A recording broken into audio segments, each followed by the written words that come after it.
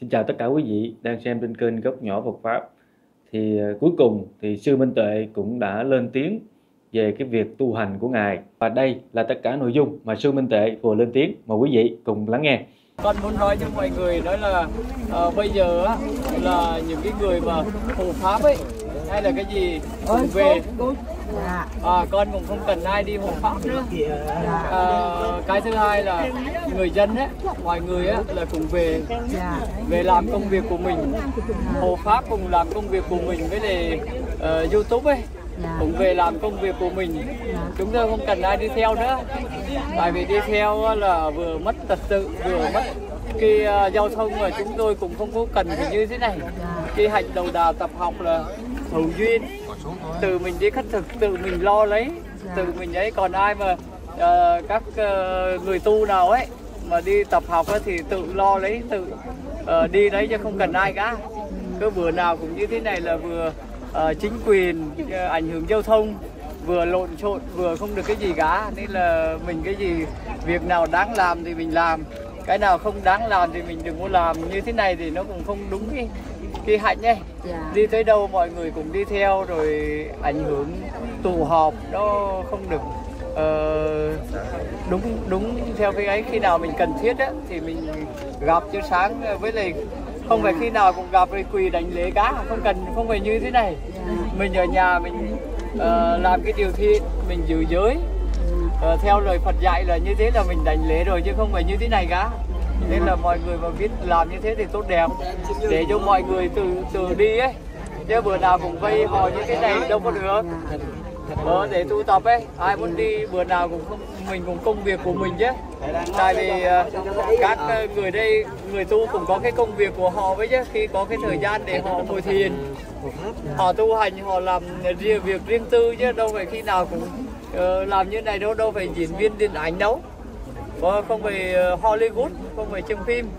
Ờ, nên là mình về công việc của mình tốt đẹp. Cái đấy là không ai đi theo nữa. Ờ, không ấy đấy là con nói rồi con nói như thế đấy. Chứ không là làm ảnh hưởng chung đến không phải là uh, xu đuổi hay cấm đoán gì hết. khi nào mà các con ấy mà đi khất thực á là đến từng nhà xin nhận vật thực chứ không đưa đến như thế này. Ngày mai á mà ai đưa đến là các con không nhận. Dạ. Ờ, đưa đến là không nhận khi nào đi khất thực đến nhà thì mới nhận. Dạ. còn không đưa đến là không nhận đừng nói trước. Dạ. nên là cũng mất công là đừng có 3 giờ sáng hay 5 giờ sáng chạy đi cho đồ. Còn à, việc sư nào muốn nhận à, thì việc của họ. Đưa cho họ nhưng mà riêng con là con không nhận còn các sư khác là quyền của họ. Dạ. con mà sớm á mà đang ngủ 3 giờ sáng hay là 4 5 giờ sáng á mà đem đến là con không hề nhận. Dạ. ờ 5 giờ chạy theo không nhận khi nào giờ con đi cái thực con nói nhận đến nhà con nhận. Dạ. ờ, đến đến chỗ chợ đến chỗ hàng hàng mà cái chỗ đi cái thực ấy. Dạ. đúng giờ nhận chứ không như này nữa Dạ. nên là mọi người biết không về là sách cơm nước chạy theo lẻng xẻng như thế. A di đà phật a di đà phật. Đó, quý vị vừa xem xong á, vì Ngài có nói rất là rõ, thì ờ, Sư đang cố gắng thực tập, mọi người đừng có theo nữa. Quý vị nên tìm hiểu rõ về 13 cái pháp hạnh à, đầu đà mà Sư Minh Tuệ đang thực tập. Thì quý vị căn cứ vào đó và làm thì nó rất là chính xác. Bây giờ em có thể đưa theo một chút à, ờ, 13 cái pháp hạnh đầu đà này kèm theo cái video này cho tất cả quý vị có thể nghe và hiểu được một chút. hạnh đầu đà. Sau đây là những hành đầu đà khác nhau mà Ngài Ajahn Mun khuyên dạy các đệ tử nên hành. Một, Đi trì bình khất thực.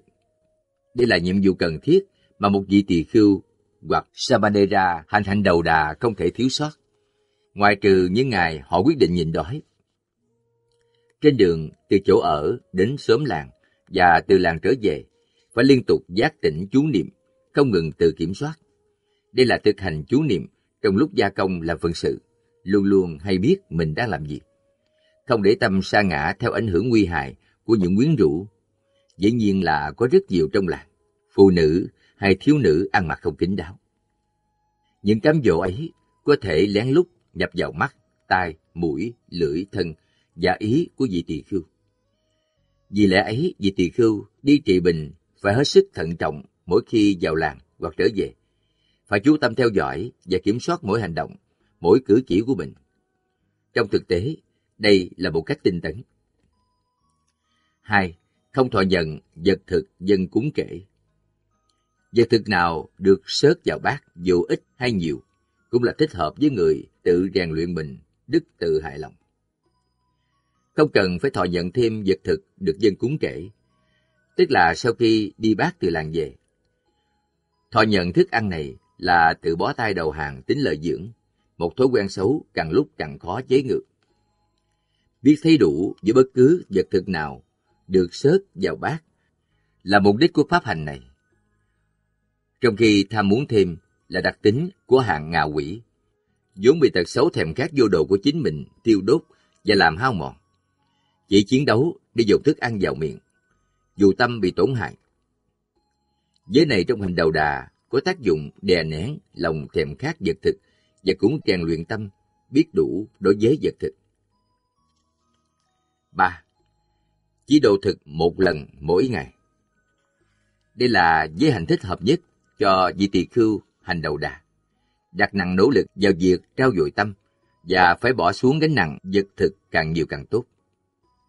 Giới này đương nhiên giúp cho vị tỳ khưu dứt bỏ lòng mong muốn có thêm thức ăn ngon, chỉ nuôi dưỡng thân, làm cho cơ thể dễ chịu, trong khi gây tổn hại cho phẩm hạnh của người mong cầu chấm dứt đau khổ. Đôi khi cũng cần giảm bớt vật thực của bữa ăn một lần trong ngày đó, để tránh ăn quá no, là buồn ngủ và giả dự. Sự bữa ăn này là một phước lành cho người hành thông thường và có nhiều lợi ích cho người cần tu tập theo cách này. Đây là một phương pháp khác để tiêu trừ lòng thèm khát vật thực, vốn làm mất phẩm giá vị tỳ khưu hành hành đầu đà. Ngoài đời có nhiều phương cách để loại trừ một năng lực đối nghịch hay có một sức mạnh gây tổn hại. Dù đó là một con chó, một con rắn, một con cọp, một con voi, một chứng bệnh hay một con người cũng vậy. Trong Phật giáo cũng có những phương pháp để vị tỳ kheo hành hành đầu đà, bị sự thèm khát vật thực ám ảnh sử dụng. Tuân thủ giới này là một cách để chống lại sức mạnh đối nghịch như vậy. 4. Độ thực trong bát Việc này thích hợp nhất với vị tỳ khưu hành hành đầu đà, luôn luôn di chuyển. Bất luận ở đâu, cũng chỉ là tạm thời. Nó làm dơi bớt gánh nặng, phải mang theo như đồ dùng kềnh càng và phiền phức, nặng nhọc cho cả thân lẫn tâm. Một lợi ích khác của pháp hành này là việc trộn chung các thức ăn trong bát có tác dụng tăng cường chú niệm và trí tuệ trong khi quán tự đến bản chất của vật thực, sự gớm guốc của nó và mục đích của việc ăn. Theo Ngài Fra Achanmun, Pháp quán niệm vật thực và việc thực hành hành đầu đà này và các hành khác giúp hành giả vững vàng đi sâu vào sự thật. Vì lẽ ấy, Ngài lúc nào cũng hành trì rất nghiêm túc, dùng vật thực để chung trong bát là phương cách kiềm hãm lòng ham muốn, buông lung chiều theo cái miệng. Trong khi ăn, tâm quán niệm hướng về bản chất của thức ăn, sự gớm guốc của nó và lý do tại sao ăn. Chỉ để nuôi dưỡng sự sống, chứ không phải bị lệ thuộc trong những yêu thích hay ghét bỏ. Dù thức ăn có ngon miệng hay không. Pháp quán niệm này giúp giữ tâm quân bình, dù vật thực ngon dở thế nào.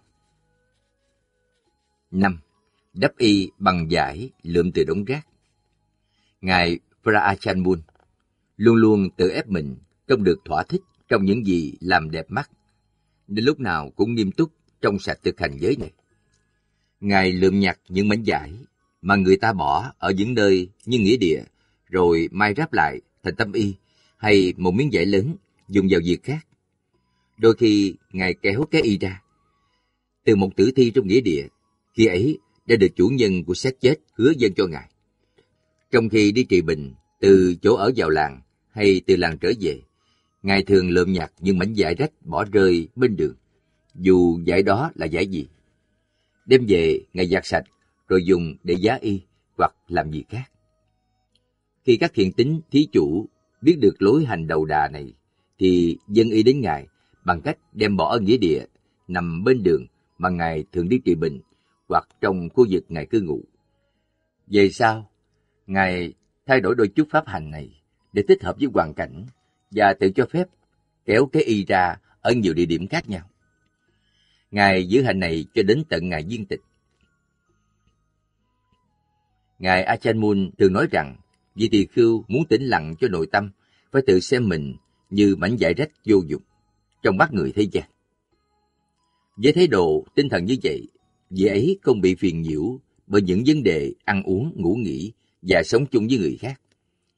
Vì ấy không kiêu căng ngã mạn với lòng tự phụ hay tự cao, tự đại. Hiểu rằng những gì nâng cao phẩm giá vì tỳ khưu ẩn vật là khả năng làm xẹp cái tự ngã của mình, không phải khả năng tự thổi phồng. Đó là giới luật hoặc hơn thế nữa, là sự trưởng thành, sự thuần thục mà người tu ẩn vật được trông đợi phải đạt đến. Hành giả phải để mắt trong chừng, không cho tính tự cao xâm nhập vào lãnh địa của giáo pháp. Nếu không, vị ấy sẽ suy sụp và trở thành giống cầm thú hơn loài người. Để thuần hóa khái niệm từ ngã, xem nó chỉ như những miếng vải rách và không để cho nó thọ cái đầu từ phụ lên là tiêu chuẩn đo lường sự tiến bộ trong giáo pháp. Như quả địa cầu mênh mông rộng lớn, một cái tâm như thế không hề lay chuyển và không bị hoàn cảnh làm dao động. Để được thanh lọc trong sạch tất cả bộ hình thái và mọi mức độ của từ cao và từ đại. Một cái tâm như thế có đủ khả năng giữ quân bình trong mọi trường hợp. Thực hành hạnh đầu đà, đắp y bằng giải lượm từ đống rác là phương tiện nhằm giảm bớt và tiêu trừ khái niệm về tự ngã. 6. Sống trong rừng núi hoang du Từ những ngày đầu tiên tu tập, Ngài Achan đã nhận thức được lợi ích lớn lao của việc sống trong núi rừng quan du, mà nhờ đó Ngài đã được hưởng sự cô tịch an bình. Cảnh vật xung quanh khơi động trạng thái giác tỉnh chú niệm. Trong khi đi, đứng, ngồi hay nằm, chú niệm luôn luôn hiện hữu với trí tuệ để suy ngẫm về Pháp. Trong nội tâm cũng như ở ngoài cảnh và liên tục không gián đoạn, ngoài trừ lúc ngủ. Trong mỗi quan nghi, hành giả đều cảm thấy nhẹ nhàng và thoải mái, không bị ràng buộc hay lôi cuốn đè nặng trong tâm. Diễn ảnh giải thoát ngày càng sáng tỏ. Càng đơn độc và xa cách, những nơi dân cư đông đúc, càng sống giữa những nơi mà thú rừng qua lại tự do, tâm càng được chuẩn bị để triển khai khả năng vượt lên khỏi diệt thẩm của ô nhiễm. Lúc nào cũng như chim trời, sẵn sàng cất cánh tung bay. Ô nhiễm vẫn còn đó, tiềm tàng sâu thẳm trong tâm. Nhưng giữa môi trường như vậy, năng lực của tâm tăng trưởng mạnh mẽ và như thể đã diệt trừ được hàng trăm ô nhiễm, chỉ còn lại đôi chút. Đó là lợi ích của hoàn cảnh thuận lợi, lúc nào cũng khuyến khích hành giả. Ý nghĩ đối với loài thú được dựa trên nền tảng từ bi nhiều hơn là sợ sệt. Giống loài người, chúng cũng chia sẻ hoàn cảnh khổ đau của sanh, già, bệnh chết. Nhưng khác người ở chỗ, chúng không có khả năng hiểu biết điều nào là thiện, điều nào bất thiện, cái gì là phước báo, cái gì là tội khổ. Vậy người mà không phân biệt điều phải lẽ quấy thì không có gì hơn loài thú. Từ thú do loài người đặt ra một cách độc đoán. Không biết loài thú đặt tên gì để gọi con người. Nếu có, chưa chừng chúng gọi ta là quỷ sứ hay yêu tinh, để mô tả đúng hành động thông thường của con người. Giết chóc bừa bãi để ăn thịt, cũng như để giải trí. Trong thực tế, nếu chúng gọi ta là như vậy, thì phần lớn là đúng và hợp lý, không có gì quá đáng. Bởi vì có nhiều chúng sanh tự gọi mình là người mà không dung tha cả thú lẫn người. Thường dùng những phương tiện hung bạo và giết chóc để nuôi dưỡng ngọn lửa hiểm nguy và kinh sợ trong xã hội loài người, cũng như xã hội loài thú. Vì lẽ ấy, loài thú tự nhiên nghi kỵ con người. Hình như có một liên hệ thân hữu với vị tỳ khưu hành hạnh đầu đà với loài thú. Kể cả những con thú hung bạo, mà thông thường là đáng kinh sợ và tránh xa. Theo Ngài Achan, có một lần nọ, trong khi Ngài đang thiền hành, thì gặp một con heo rừng tình cờ đi ngang qua. Thay vì kinh sợ bỏ chạy, heo rừng không mấy lưu tâm đến Ngài và vẫn tiếp tục đi một cách thản nhiên. Có lẽ nó đã hiểu rằng dù sao Ngài A Chan không phải yêu tinh. Nơi đây, người viết cũng muốn thuật lại một chuyện tương tự xảy ra tại thiền viện Basta trong buổi ban sơ. khi khu này vừa được khai quang để làm nơi cư ngụ cho chư tăng. Lúc bấy giờ đã có nhiều tỳ khưu và Samanera ở tại khu rừng này. Nhưng một bầy heo rừng vẫn thường lẫn quẩn tới lui quanh tình thất của các sư. Lắm khi thản nhiên ngủ ngày trước đó. Chúng không sợ, mà cứ lai giảng cách đường kinh hành chừng vài thước. Gần đến độ nghe được tiếng chúng ủi đất. Lúc ban đầu, và vị tỳ khưu không biết phải làm sao. Kêu các vị khác đến để tận mắt xem. Nhưng rồi bầy heo rừng vẫn không động đậy. Chẳng bao lâu sau, người và heo, không ai để ý đến ai nữa. Ai nấy cùng chung sống an lành, thoải mái. Ngày nay, rất ít thấy những chuyện tương tự. Vì nhiều yêu tinh ngang nhiên vi phạm định luật, sống và để cho người khác sống, và đã giết hại heo rừng mỗi khi gặp. Có lẽ khi các nhà sư tạm thời vắng mặt, hoặc khi heo rừng đi lạc vào sớm làng lân cận. Và trong một thời gian ngắn, không còn thấy chúng đâu nữa. Điều này xác nhận rằng loài thú thích tìm chỗ ẩn náu, nơi có chưa tăng ở, kể cả ở thành thị. Những con chó chẳng hạn, thường có hàng trăm con trong các tự viện. Hình như chúng biết rằng ở đó sẽ không bị tổn hại. Ít ra là các sư không làm gì hại chúng mặc dù đôi khi vài chú thanh niên trong chùa cũng nóng nảy trút cơn giận vào chúng. Điều này cũng chứng tỏ rằng giáo pháp luôn mang lại tình trạng an lành và bất bạo động cho tất cả, thú cũng như người. Theo Ngài A Chan, sống trong rừng có vô số cơ hội để quán niệm về những cảnh vật bên ngoài, cũng như những chuyển biến bên trong. Tâm luôn luôn xuôi chiều, hướng về giải thoát, và lúc nào cũng kiên trì gia công tiến đạt mục tiêu này. Đây là chiến trường đối với người có nguyện vọng chấm dứt đau khổ. Đúng theo lời giáo huấn sơ khởi mà vị thầy tếu độ ban truyền cho giới tử trong buổi lễ xuất gia tỳ khưu. Ngài A Chan hành giới sống trong rừng rất nghiêm chỉnh suốt phần lớn thời gian. Ngoại trừ đôi khi bị bắt buộc phải ở nơi khác, và ở thành phố trong một thời gian ngắn. Khi sống giữa rừng sâu hoang vắng, ta luôn luôn được nhắc nhở về sự đơn độc và ẩn dật có rất ít cơ hội để tự mạng. Đối với người có nguyện vọng chấm dứt đau khổ, thì đây là nơi tốt đẹp để phát triển mọi hành lành. 7. Sống dưới cội cây Cũng như đời sống giữa rừng sâu, cuộc sống với cội cây đem lại nhiều lợi ích. Theo Ngài A Chan, khi tâm Ngài giải thoát khỏi mọi trói buộc của thế gian, đó vào lúc ban đêm, khi Ngài ngồi dưới tán một cội cây lẻ loi trêu trọi giữa rừng. Sự kiện này sẽ được tường thuật trong phần sau. Người viết xin quý độc giả thông cảm cho sự dời lại về sau giai đoạn rất quan trọng này. Ở dưới tán của một cội cây, nếu mà không có che chắn hay bất kỳ sự bảo vệ nào, thì hành giả có thể trong đời đem lại nhiều lợi ích cho hành giả trong phát triển chú niệm.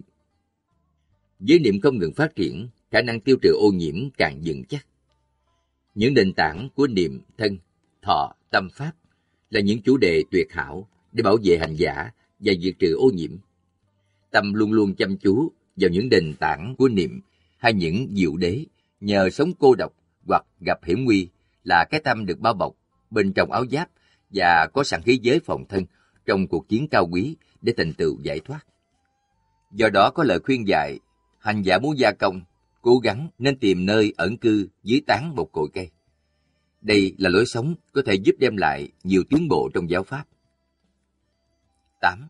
Sống trong nghĩa địa Bên trong hay bên ngoài Pháp hành này là phương pháp tuyệt hảo giúp hành giả đề cao cảnh giác, không dễ vui buông lung hay tự mãn.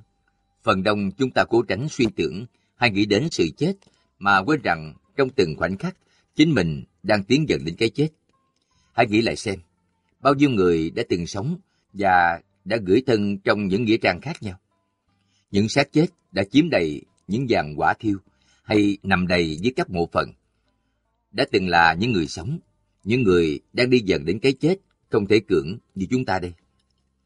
Vậy làm thế nào chúng ta, những người đang sống, có thể thoát khỏi hiện tượng tự nhiên ấy? Viếng thăm một người bạn hay một thân nhân nằm trong nghĩa địa có thể đem lại hai điều hữu ích. Trước tiên là nói gợi cho ta những kỷ niệm về người quá cố. Và thứ đến là, từ tưởng nhớ người xưa, ta tưởng đến phận mình. Tự so sánh với họ và nhận ra rằng chúng ta cũng đang tiến dần đến đó, không thể kháng cự.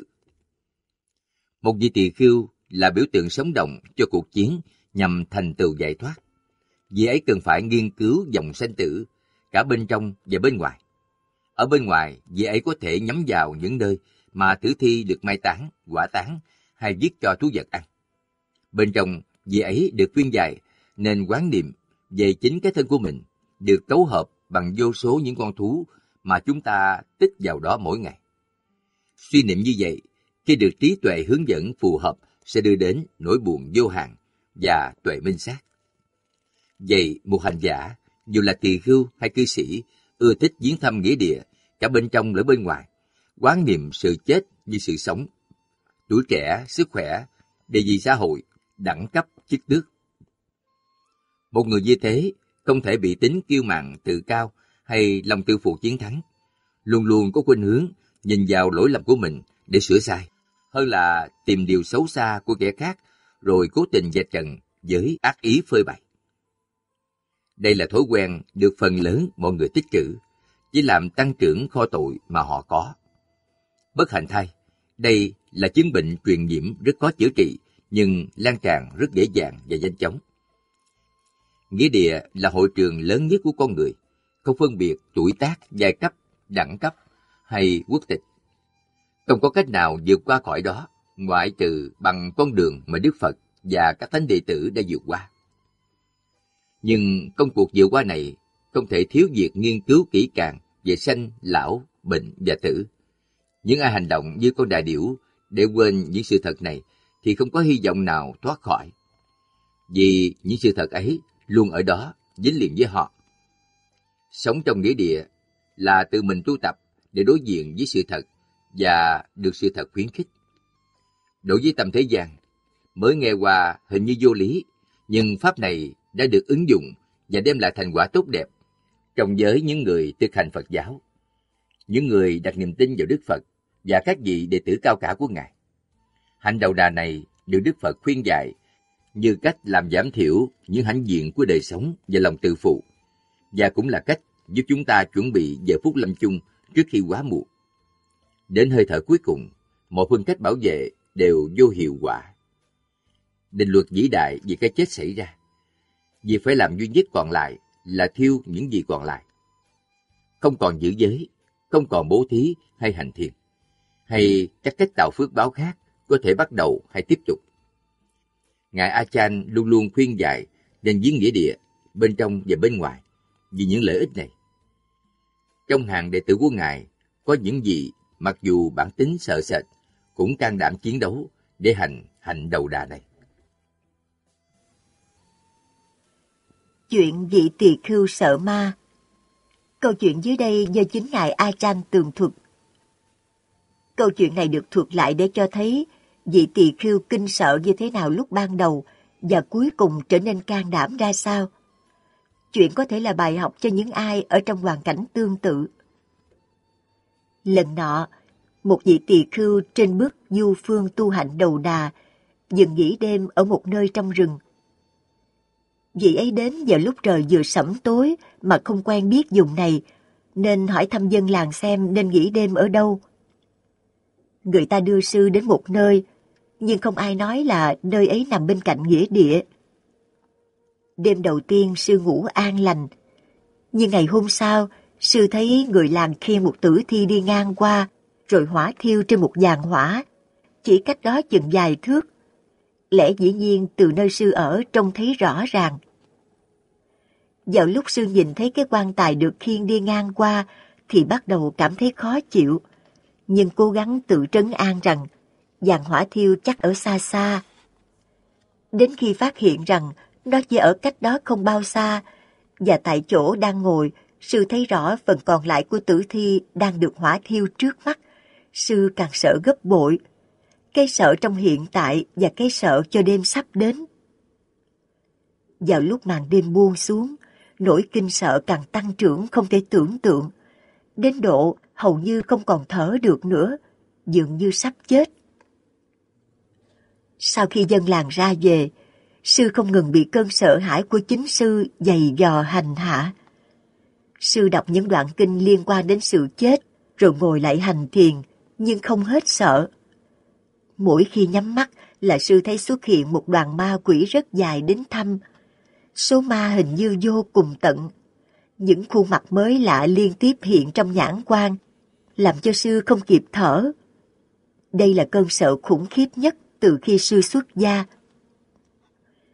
Sau nhiều giờ được những con ma đó đến thăm, sư bắt đầu thắc mắc tự hỏi rằng tất cả những con ma lãng giảng trong đầu phải chăng chỉ là những hình ảnh do trí tưởng tượng bệnh hoạn của sư tạo ra? Sư tự nhắc nhở rằng một tỳ khưu Dutanga thường được xem là người không bao giờ sợ, người có khả năng đương đầu với cái chết, với ma quái, với bất luận hiểm nguy nào. Sư là một trong những tỳ khưu đó. Tại sao sư lại sợ ma một cách không biết hổ thẹn như vậy? Nếu còn chịu thua sự áp đảo của kinh sợ là mất danh vị tỳ khưu hạnh đầu đà. Tự khuyến khích mình như thế trong cuộc chiến đấu, sư nhất quyết đi tới nơi mà sợ hãi phát sanh và đương đầu với bất luận cái gì ở đó. Sư đắp y đi thẳng đến giàn thiêu. Trên đó, một phần tử thi vẫn còn đang cháy trong ánh sáng chập chờn của ngọn lửa. Tuy nhiên, chỉ bước được vài bước thì sư không thể di chuyển nữa. Dường như hai chân của sư thình lình bị đóng đinh dính chặt xuống đất. Tim sư đập mạnh, trong mình mồ hôi nhỏ giọt như bị thiêu đốt dưới sức nóng của mặt trời giữa trưa đứng bóng. Biết rằng mình cần thêm sức mạnh, sư tự ép mình bước tới. Sư bước nhanh chân hơn, sợ rằng còn chần chờ thì sẽ dừng lại nữa.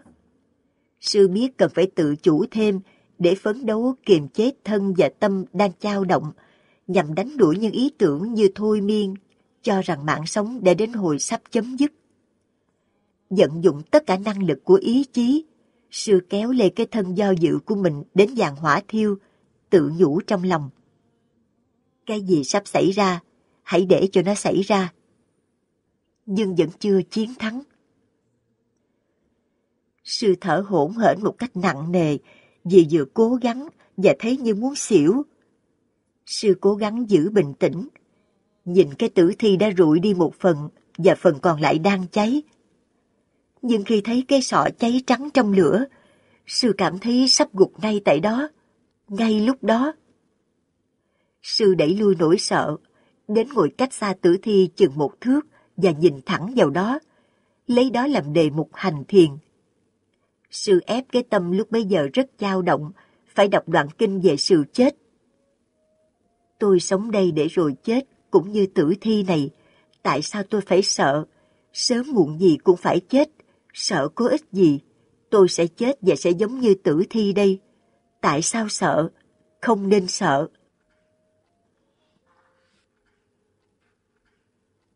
Con chó dị thường trong khi tụng kinh như thế để chiến đấu chống lại cơn sợ ma, thì sư nghe thấy một tiếng động lạ thường từ phía sau lưng mình. Tiếng chân đi. Ai đó đến từ phía sau. Tiếng chân bước không đều, dừng một chập rồi lại đi nữa. Có người chuẩn bị tấn công sư từ phía sau. Cơn sợ tràn ngập, hoàn toàn làm chủ sư. Hơi thở của sư càng lúc càng mạnh, chỉ tẹo nữa là sư nhảy dục lên, bỏ chạy là bãi hải như điên. Ma, ma, cứu tôi với. Nhưng rồi sư cố gắng lấy lại bình tĩnh, tự buộc mình cứ ngồi yên và chờ xem nó sắp làm gì đây. Sư có thể nghe nó nhóm chân đến gần, cách sư độ dài bước. Rồi có tiếng ai hay cái gì, nhai vật gì giòn kháo.